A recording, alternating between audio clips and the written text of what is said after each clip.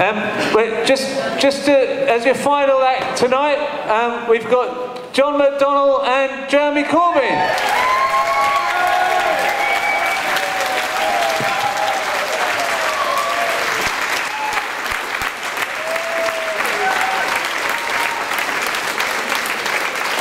Thanks, comrades. Can I, um, can I first of all, can I thank Crispin and the whole team that have been doing this throughout the year.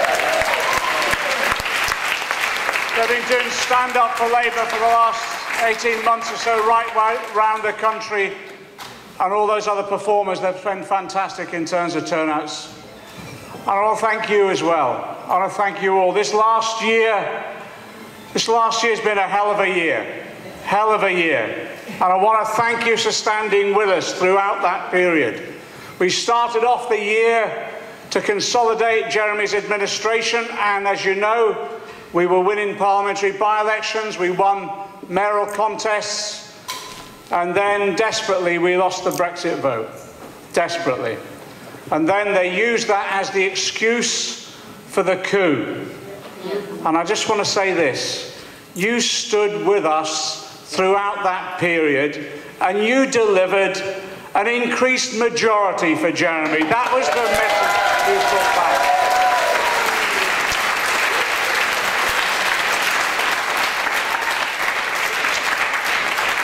So I want to say thanks. It's been tough since then, to be frank. We've had a couple of impossible by-elections to fight, and I just want to thank the candidates that stood there in the most difficult of circumstances, both in Richmond and Sleaford as well.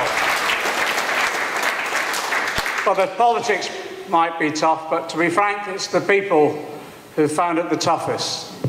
This Christmas, there'll be 200,000 kids who'll be relying upon the food banks to deliver their Christmas meal. 120,000 of those children will be in temporary accommodation in the sixth richest country in the world.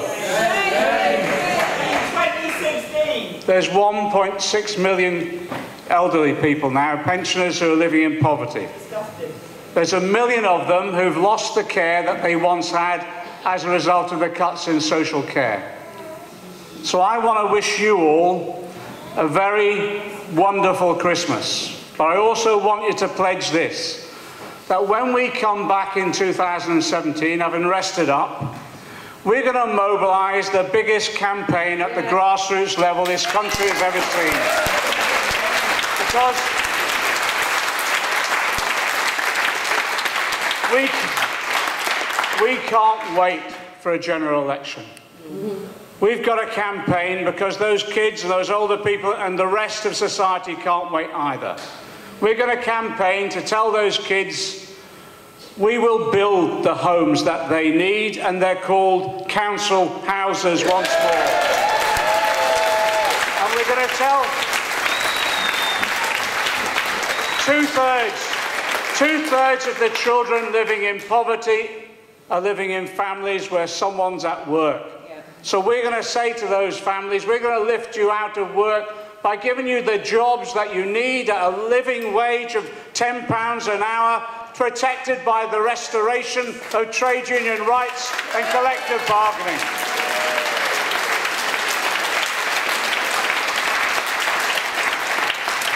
And we're going to have a real pension as well. We're protecting the triple lock because we campaigned for 30 years against Thatcher's break of the link between pensions and earnings, and we're going to maintain it and have a real living pension as well. That's the hope. That's the hope that Jeremy Corbyn has given to our movement.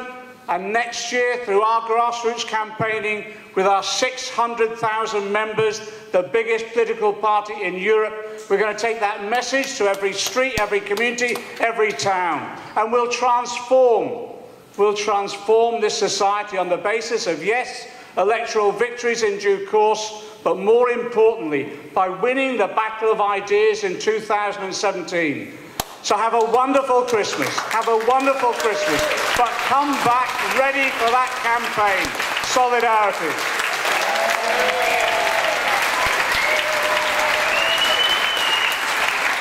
the man who delivered that inspiration, that message of hope, Jeremy Corbyn. John, John, thank you for that and for all the other days that you've done so much to inspire and lead our movement and say the things that aren't always easy to say, not always popular at the moment, but in the long term and the long run are right. John, you're such an inspiration to so many people, the way you've stood with those with disabilities, those that have suffered racism, those that have been made homeless, those that have been unfairly imprisoned. It's people like John McDonnell that are absolutely at the core and centre of our movement and the liberty and justice that goes with it.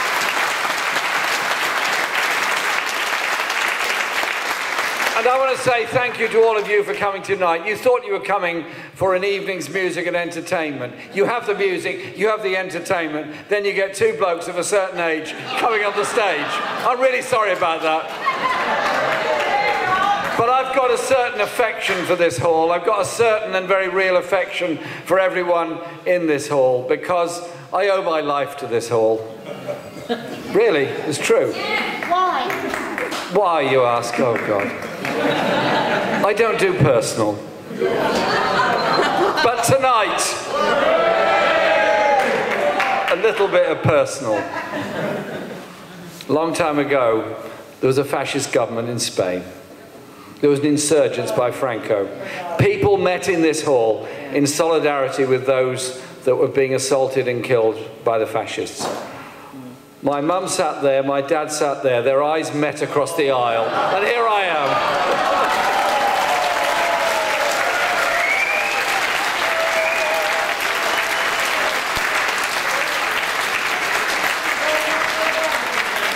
Pasarán, absolutamente. Absolutamente. Excelente, compañero. Who was the comrade who said that? Where is he? All of them. Oh. Tosh. Can you all stand together in honour of Tosh and ASLEF? Tosh!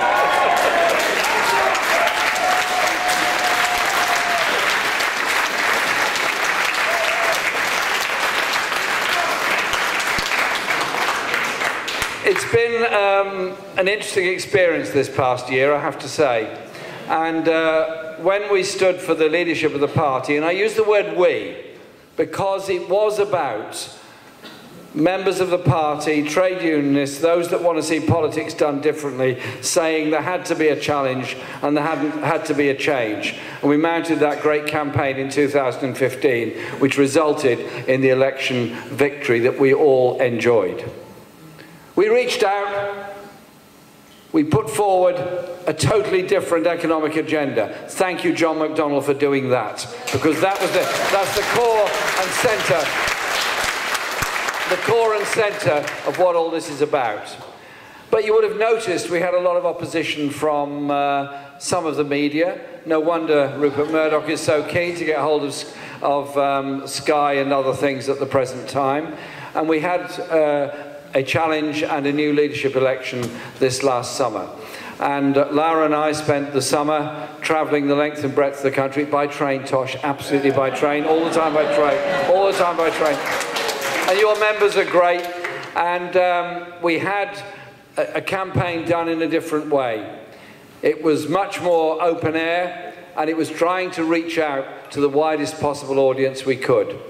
And it was incredible the number of people that would come to the open air rallies who were not necessarily people who were even Labour supporters. They came out of interest, they came because there was a debate going on, they came because there was a different message. So I've never forgotten, literally on a wet Wednesday night, getting 10,000 people on the streets of Liverpool for an open air rally. The three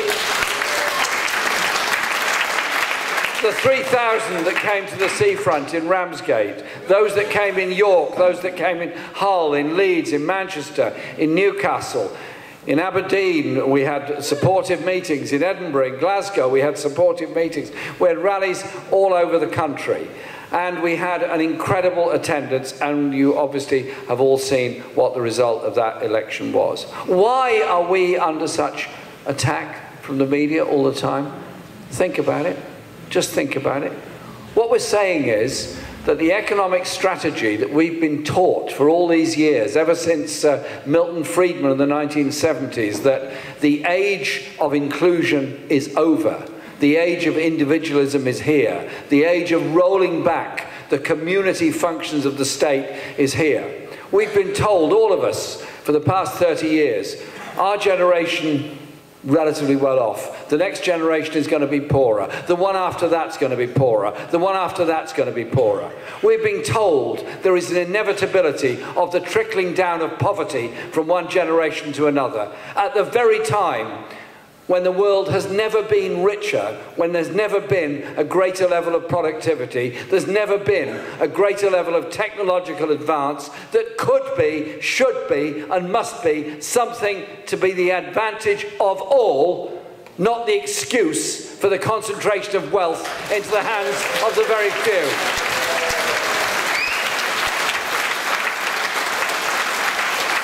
And so by the strategy that John is putting forward, this challenges a lot of people, challenges a lot of very powerful people. And so we have a lot of campaigning to do. And what was great about the events all over the summer and since has been that sense of inclusion, of people coming together. They felt there was a space, their space, their space where they could put forward their ideas, put forward their inspirations, and try and change things around. So we challenge them on economic strategy. All through next year, John's going to be hosting regional economic planning conferences. They will be grassroots, bottom up, ideas people have got. Because if you go to any business, any enterprise, any factory, ask people who know how things could be done differently, how products could be made better, how they could be developed. There's something about the structures and arrogance of so much in our industry that ignores and deliberately excludes those with talent and ideas. Put it this way, I remember in the 1970s, I was in the engineering union. The Labour government, with Tony Benn, had just taken British Leyland then into public ownership. Tony Benn said, we're going to do it differently. And he invited us, the unions and the members, to put forward a plan for British Leyland. And we went out. We had meetings of car workers, shop stewards, lots of people came together. They all had the most fantastically creative, brilliant ideas about how you could make more, more economic cars, how you could make cleaner cars, all the kind of innovation that's there. And you know what happened? The IMF came along, the Labour government unfortunately capitulated to what the IMF was demanding of them at that time. Tony Benn was removed, and uh, British Leyland became, just like any other car company, was privatised, diced up, sliced up, sold off. And as a result, we lost so much of that talent and so much of that enterprise. We want to run an economy that's different. We want to run an economy that does allow people to have their ideas heard, to have their ideas developed, so that all the brilliance of technology can be developed and can be shared in the future. That's why we need to mobilize people to come together on that. In the old-fashioned way of the public meeting and the street, and the new way of the social media and the information technology. The two things are not exclusive, they're absolutely dovetailed together. Let's make sure we use all the technology that's available to mobilize people to our ideas and our inspiration. There's so much more I can say, but I just want to say quickly three things. Education, housing, health are absolutely central to everyone's lives. We want a national education service that does deliver education as a right for all, not a privilege. Because what this government is doing is turning education into a commodity if you're under five and a commodity if you're over 16. You see the squeeze that's going on. How about we had education for all for life, including adult education?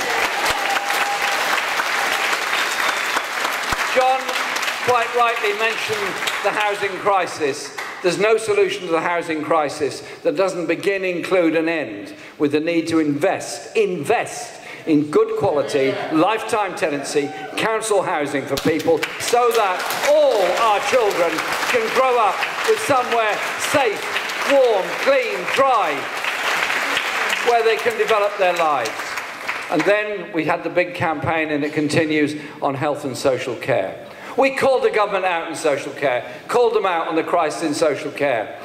What was the response the next day? Oh, yes, we'll put more money into social care, but we're not going to put any more money into social care. Instead, we're going to put it over to council taxpayers around the country and let councils raise council tax in order to pay for social care. The most grotesquely unfair, unjust, irresponsible way of funding social care. Because do you know what? The money you get for 2% rise in, social, in um, council tax is quite a lot in an area of high value. It goes a very long way in Kensington and Chelsea. It goes a very long way in, say, Windsor and Maidenhead. I think you all know about Windsor and Maidenhead. It doesn't go quite so far in Liverpool or Skelmersdale. It doesn't go so far in Hull or Leeds.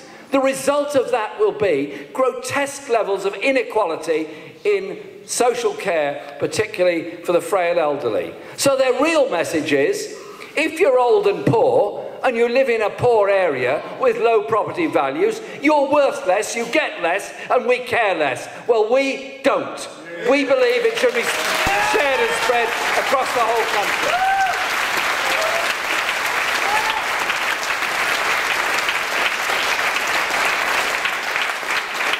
so we have to make the arguments and put them there all the time.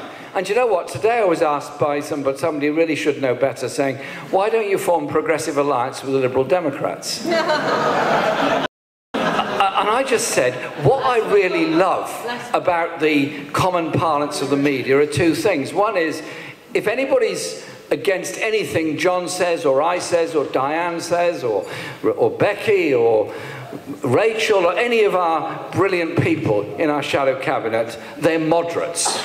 They're moderates, okay? And um, if the Liberal Democrats want to do something, that's progressive. And I said, well, can I just ask you to answer me one question? What is progressive about propping up a Tory government that took 40 billion out of the, out of the economy, that introduced a top-down reorganisation of the NHS, that has led to 120,000 and more children living in temporary accommodation this Christmas and led to the most grotesque levels of inequality in our society that we've seen for a very long time. Sorry, we need to do things differently and better in the future, and we will. But let's finish on this, finish on a high if we may. Life is difficult. Life is tough. We're all here not because um, we're on some sort of ego trip. We're here because we believe in things, all of us, every one of us in this room, because we believe in things. And when they talk about stress, what real stress is about is having to make harsh choices. Do you feed your child or do you feed yourself? How do you get through? How do you survive? Do you pay the rent or do you, or do you pay the electricity bill? Those kind of tough choices that people are making every day because of levels of, in, of poverty, inequality, and injustice within our society. But it's also about how we conduct ourselves and what we do. Because it's, yes, it's about bread, but it's about roses too. It is about the creative in us all. The creative makes us strong, helps us to be inspired. Children playing music, writing poetry, inspires them, makes them, makes them stronger, makes them more creative. Music is very much at the heart of our movement. Look at the brass bands, look at the miners' bands, look at all that great tradition, look at the folk tradition, look at the protest tradition. Think of all those young people trying to find somewhere to rehearse, trying to express themselves through music, be it rap or whatever else. So I am determined that our movement will be a movement for cultural freedom as well and cultural expression as well. And that is what it is about. So I want you all to have a fantastic time over Christmas. I thank everybody for the friendship, the support, and the solidarity they've given because the last year has been interesting. The Chinese proverb, may you live in interesting times, has never been more appropriate than this year. But we go into 2017 very optimistic, very determined, very hopeful, and very, very strong. Thank you all for all that you do. Thank you for your support. Thank you for the solidarity. And now Robb Johnson will join us, coming through the door now, to sing the old song that you're all going to enjoy. Robb Johnson.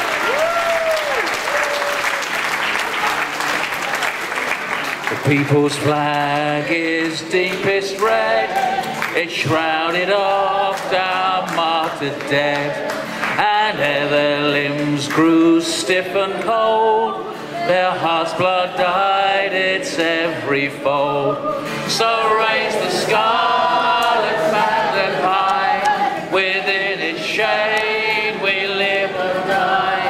Though cowards flinch and traitors steer, we keep the red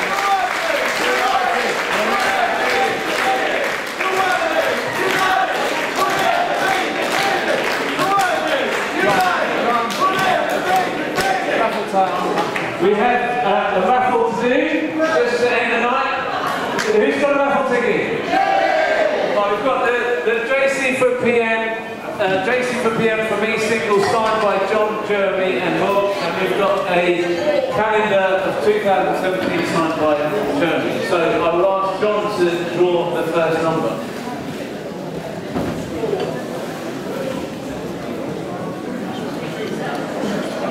Four hundred and thirteen.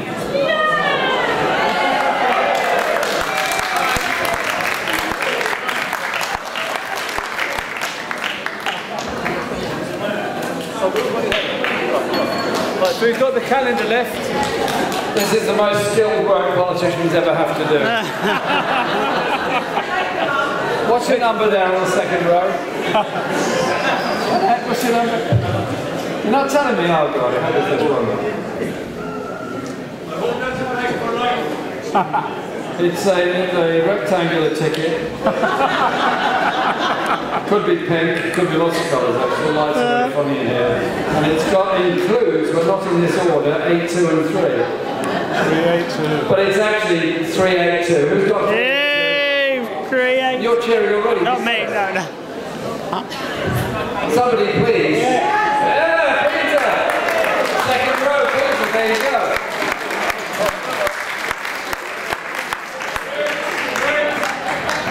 It was, yeah. Right, can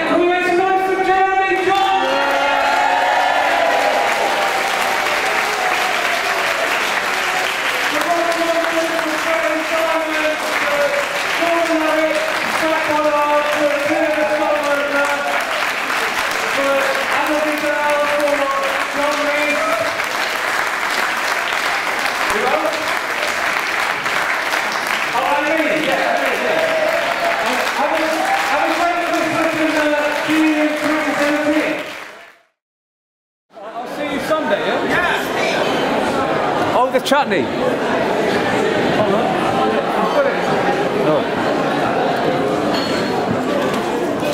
It was agreed the individualism couldn't give down to Chutney, I a